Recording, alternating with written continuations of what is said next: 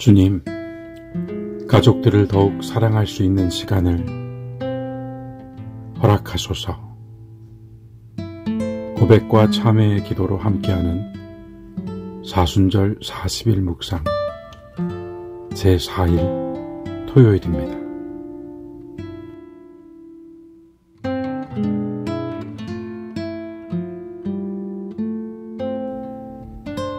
아버지 하나님, 가족들을 통해 삶의 기쁨과 행복을 누리게 하시고 평안과 안식을 주시는 전능하신 주님을 찬양합니다.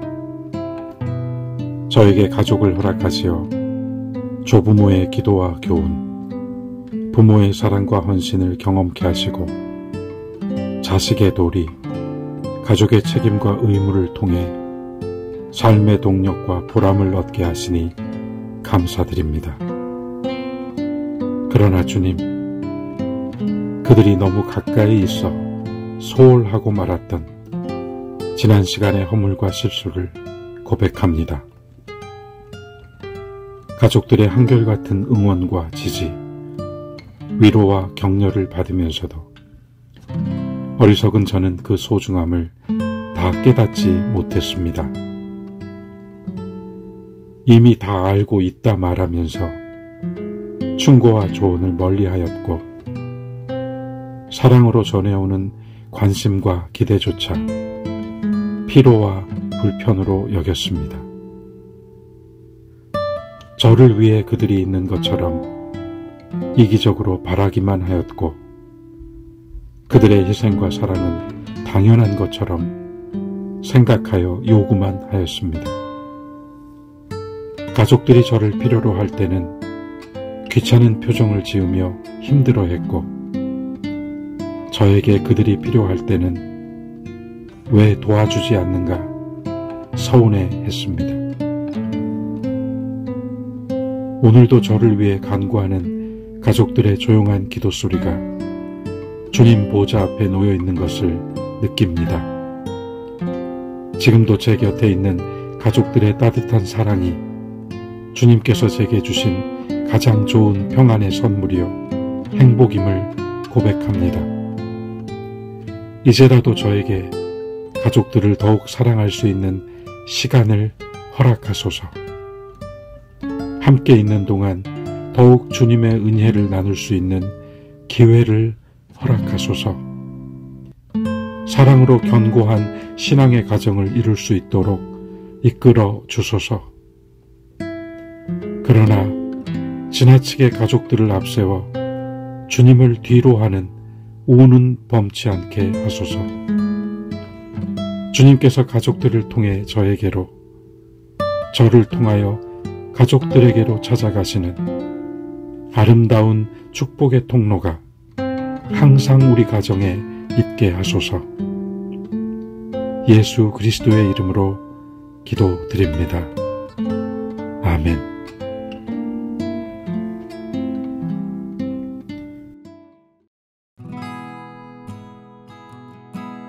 그가 시험을 받아 고난을 당하셨은즉 시험 받는 자들을 능히 도우실 수 있느니라.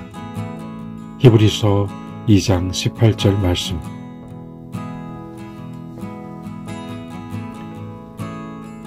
얼마 전 아버지께서 많이 편찮으셨습니다.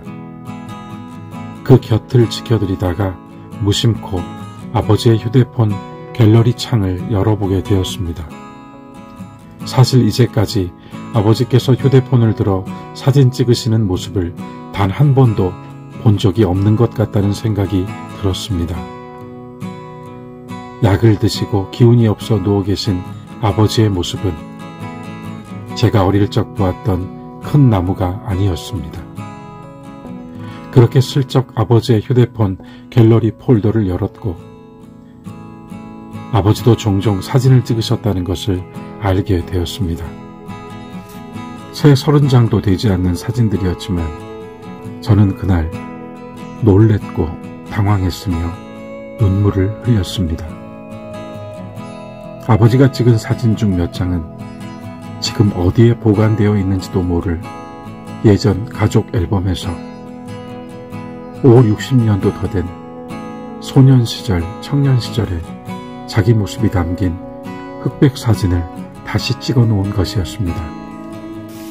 아버지는 그렇게 순식간에 흘러버린 세월과 안개처럼 지나가 버린 시간을 홀로 곱씹으며 혼자 서글퍼하고 붙잡고 싶으셨던 장면들을 사진으로 찍어서 손안에 두고 사셨던 것입니다. 또 다른 몇 장의 사진은 어머니를 찍어 놓으신 것입니다. 아마도 어느 주일 아침 지하철역 플랫폼에서 아버지의 카메라에 들어온 어머니는 싫다고 손을 내젓고 계셨습니다. 그리고 어느 봄날 허름한 주택 담장에 피어있는 장미꽃 덩굴 옆에서 역시 5, 60년 전쯤에는 한껏 멋진 포즈를 취하셨을 법한 모습으로 어머니가 웃고 서 계셨습니다.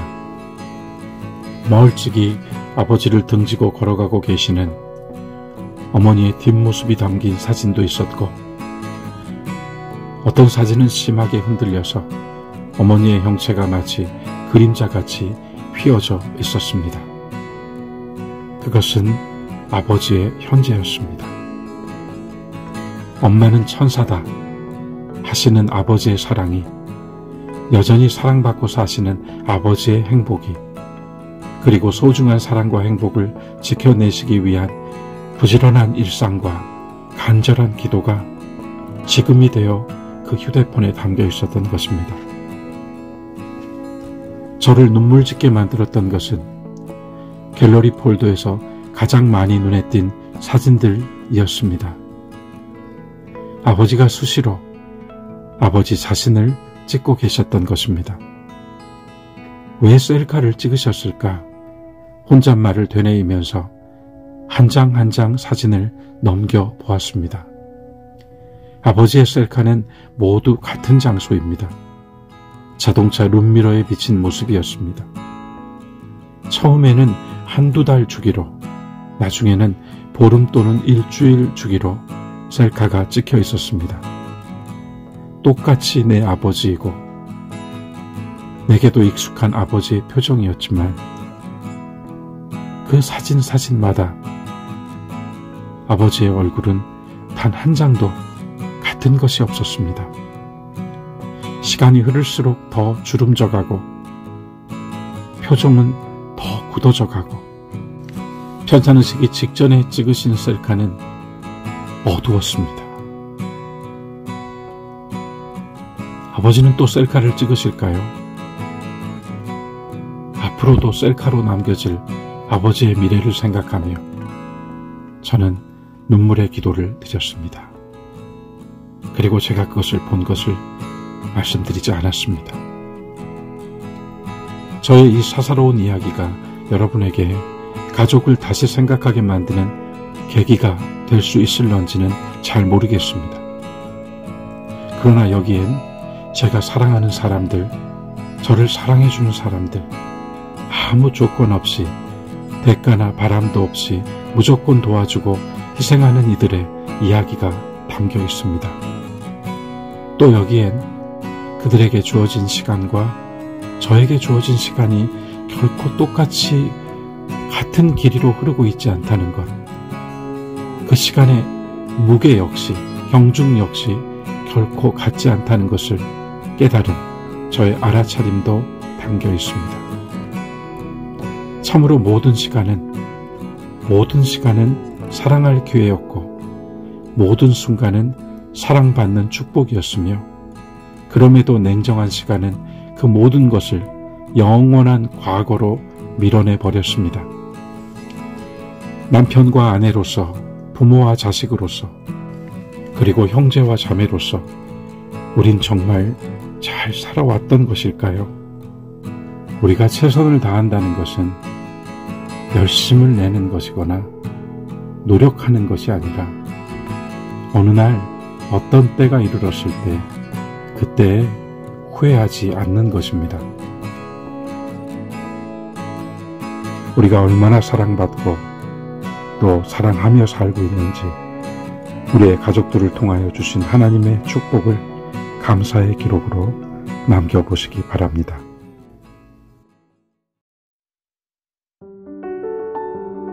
사순절 제4일 토요일 아침입니다. 여러분 오늘도 힘차게 일어나시고 생명의 밝은 빛을 발하십시오. 감사합니다.